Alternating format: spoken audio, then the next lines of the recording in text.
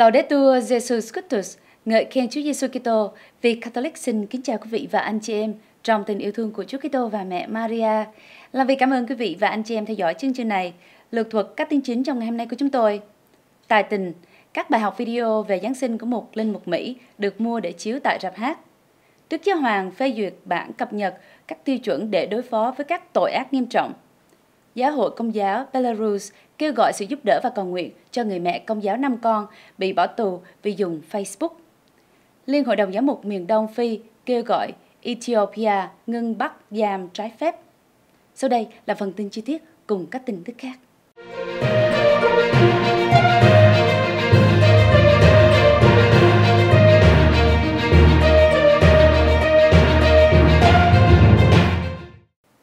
Tài tình các bài học video về Giáng sinh của một linh mục Mỹ được mua để chiếu tại rạp hát. Một linh mục ở Wisconsin đã tạo ra một loạt các video ngắn gồm 10 phần liên quan đến Giáng sinh mang tựa đề The Chosen, nghĩa là dân được chọn. Đó là một loạt video được phát trực tuyến trên YouTube về Chúa Giêsu và những câu chuyện phúc âm. Các video dài từ 3 đến 5 phút của cha Edward Looney cung cấp cho người công giáo góc nhìn về màu nhiệm Giáng sinh của Chúa Kitô dưới cái nhìn của Đức Maria và Thánh Giuse. Các video này do Ngài tự phát hành và đầu tiên được đăng trên kênh YouTube của Ngài vào tháng 12 năm ngoái. Ngày 1 tây tháng 12 năm nay, nó được công chiếu tại các rạp trên toàn quốc trong bộ phim Christmas with the Chosen, The Messengers, nghĩa là Giáng sinh với dân được chọn, các sứ giả.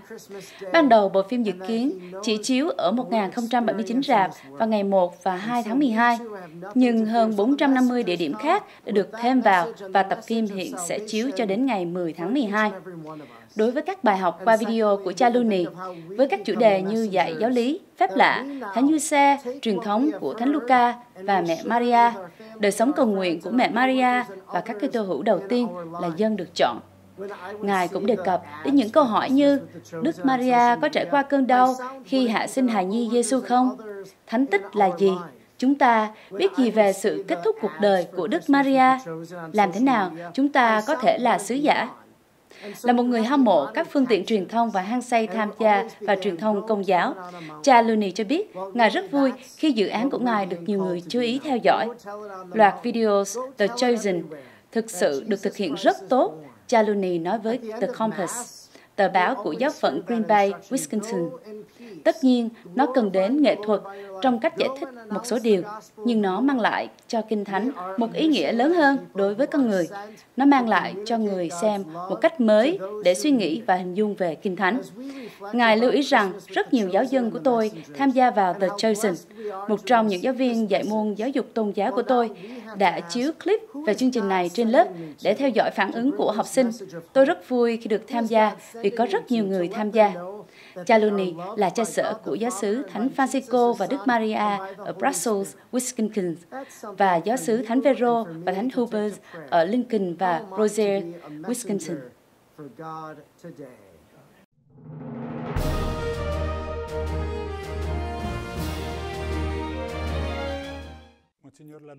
Đức Giáo Hoàng phê duyệt bản cập nhật các tiêu chuẩn để đối phó với các tội ác nghiêm trọng. Đức Thánh Cha Francisco đã chính thức chấp thuận một loạt các cập nhật và sửa đổi đã được thực hiện trong những năm qua đối với các tiêu chuẩn liên quan đến lạm dụng tình dục của hàng giáo sĩ và các tội phạm khác vốn chỉ dành cho Bộ Giáo lý Đức tin giải quyết.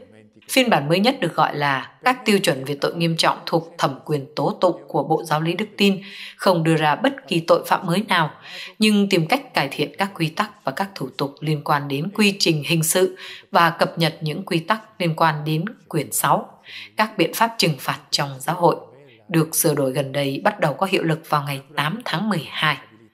Tài liệu do Vatican công bố vào ngày 7 tháng 12 bao gồm những thay đổi và cập nhật những sửa đổi của Thánh Gioan Phaolô đệ nhị vào năm 2001 và Đức Giáo hoàng Benedicto thứ 16 vào năm 2010.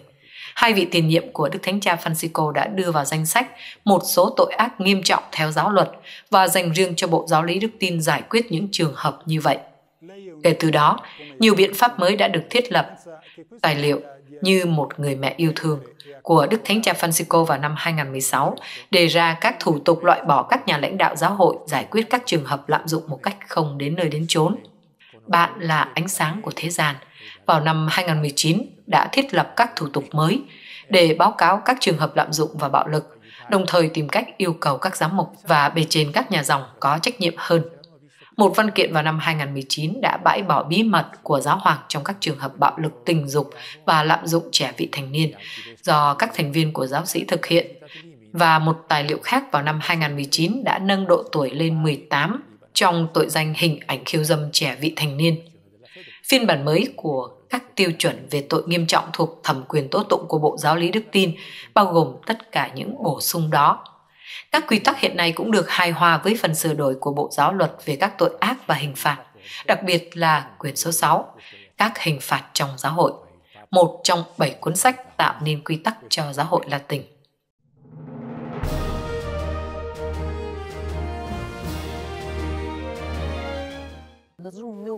Giáo hội Công giáo Belarus kêu gọi sự giúp đỡ và cầu nguyện cho người mẹ công giáo năm con bị bỏ tù vì dùng Facebook.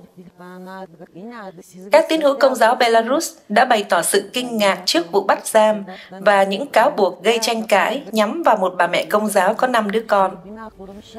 Volha Zatara đã bị bắt giam hôm 3 tháng 12 vì tội tham gia vào các bữa tiệc trà mạn đàm trái phép và vào một trang Facebook trò chuyện trên Internet từ nhà cô ở Minsk. Cha Yuri Sanko, phát ngôn viên của Hội đồng Giám mục Belarus cho biết, tôi không hiểu nổi các cơ sở cho các cáo buộc chống lại cô ấy và chẳng thấy có bằng chứng nào được sử dụng để chứng minh các tội danh ấy. Tôi cũng không biết liệu giáo hội của chúng tôi có ai được phép có mặt tại phiên tòa hay không. Một số linh mục đã viết thư kêu gọi chấm dứt việc truy tố cô ấy, nhưng những điều này đã bị phớt lờ. Tổ chức Christian Vision của Belarus cho biết, nhà xã hội học 39 tuổi là một người công giáo thực hành đạo đã bị giam giữ.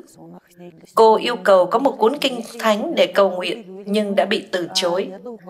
Cô xin được gặp một linh mục. Yêu cầu này cũng đã bị từ chối. Trong khi đó, luật sư của cô cho biết cô đã bị đánh, đá và bóp cổ để buộc cô phải tiết lộ mật khẩu điện thoại và Internet.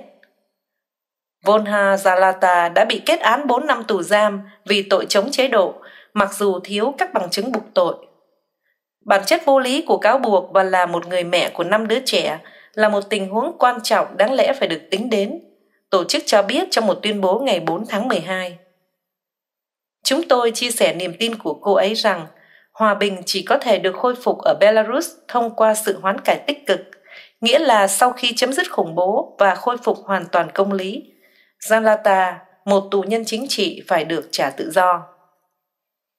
Trung tâm Nhân quyền Viasna, không chính thức của Belarus đã đưa tin về việc kết án Zalata.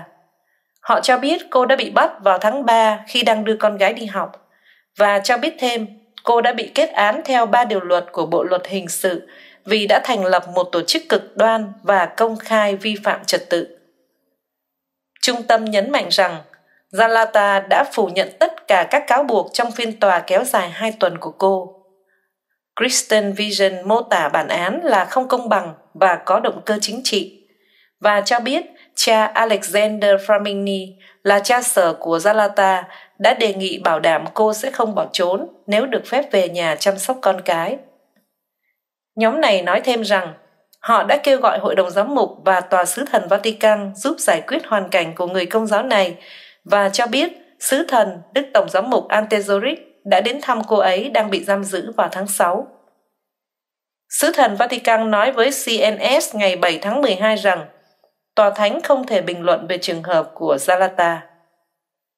Chúng tôi kêu gọi cộng đồng Kitô giáo Belarus và thế giới thể hiện tình đoàn kết với cô ấy và gia đình cô ấy, cũng như với tất cả những người có đức tin và những người không tin bị giam cầm vì lý do chính trị ở Belarus. Tình hình đã trở nên căng thẳng ở Belarus kể từ khi Tổng thống Alexander Lukashenko tái đắc cử trong một cuộc bầu cử đầy gian lận vào tháng 8 năm 2020, sau 26 năm cầm quyền. Các nhóm nhân quyền cho biết kể từ đó đã có tới 900 tù nhân chính trị bị bỏ tù.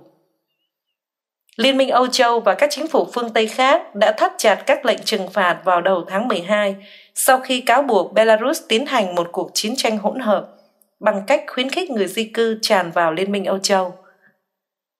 Trong một tuyên bố tại phòng xử án, Zalata tự mô tả mình là một người tín hữu thuần thành. Tôi phải ở đây vì tôi sống theo các điều răn của Chúa. Và cho biết hồ sơ vụ án của cô chỉ ra rằng những hành động và cảm xúc bình thường của con người đã được hình sự hóa và sử dụng để chống lại cô.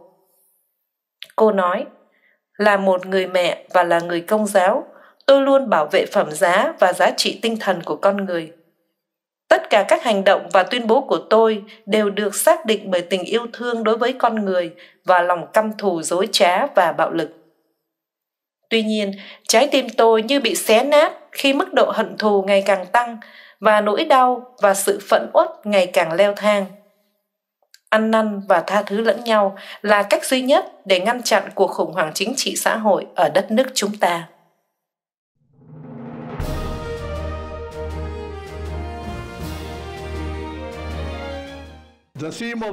Liên hiệp Hội đồng Giám mục miền Đông Phi kêu gọi Ethiopia ngưng bắt giam trái phép.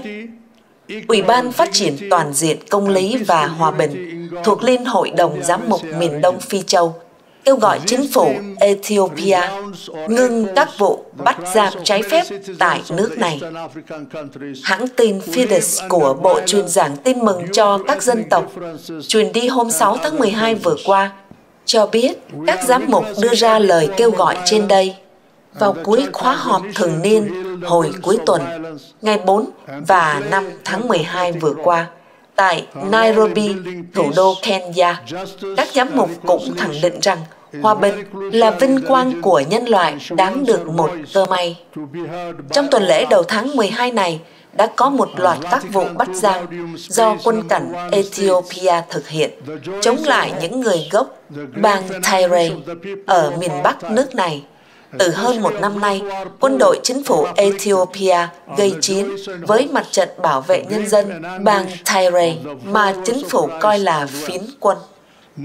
Tuần qua, có năm nữ tu dòng nữ tử bác ái, một nữ tu dòng Usala và hai phó tế gốc Tigray bị bắt tại thủ đô Addis Abeba và cho đến nay, người ta không có tin gì về 15 linh mục tu sĩ dòng Silensis Don Bosco trong đó có cha bè trên tỉnh dòng.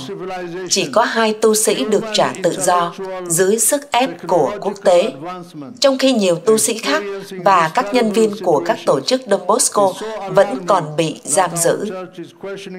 Trong thông cáo sau khóa họp, các giám mục thuộc Liên hội đồng giám mục Đông Phi ca ngợi và ủng hộ những diễn biến tích cực tại Sudan phải chịu một cuộc đảo chắn mới đây của quân đội và dân chúng quyết liệt chọn con đường bất bạo động như một lối tranh đấu chính trị mới để đạt được hòa bình và sự truyền tiếp đến dân chủ. Các giám mục cũng khích lệ các tổ chức phi chính phủ trong nỗ lực này tại Sudan. Về đại dịch COVID-19, các giám mục miền Đông Phi Châu tố giác tình trạng bất công về y tế sự chân lệch trong việc phân phối vaccine chống coronavirus và thuốc men chống bệnh tật. Ngoài ra, các giám mục cũng bàn đến những thách đố trong các vấn đề như nạn buôn người, vấn đề người tị nạn và những người phải di tản nội địa, trào lưu cực đoan và các vấn đề môi trường, quản trị tốt và các cuộc tranh cử trong vùng. Trong tất cả các vấn đề đó, cần có sự đối thoại giữa dân chúng với chính phủ và các vị lãnh đạo chính trị.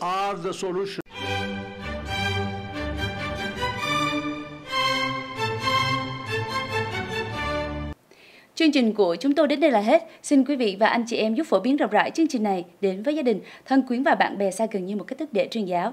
Xin cảm ơn và hẹn gặp lại quý vị và anh chị em trong lần phát kinh tới. Laudetur Jesus Christus, ngợi khen Chúa Giêsu Kitô.